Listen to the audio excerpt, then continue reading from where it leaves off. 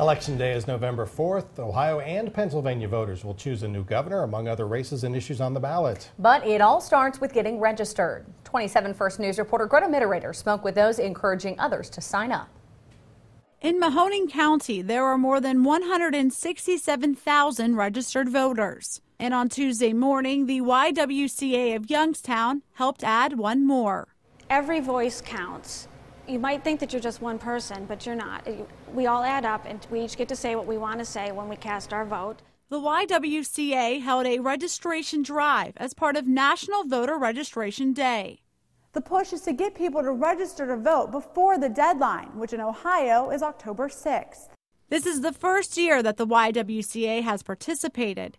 Organizers say it's part of their effort to follow its mission and help the community. And we realize the importance of having your voice heard. We see it as an empowerment issue for women. And they hope it also encourages those who live, work, or take advantage of the services provided within the YWCA to vote either on November 4th or earlier.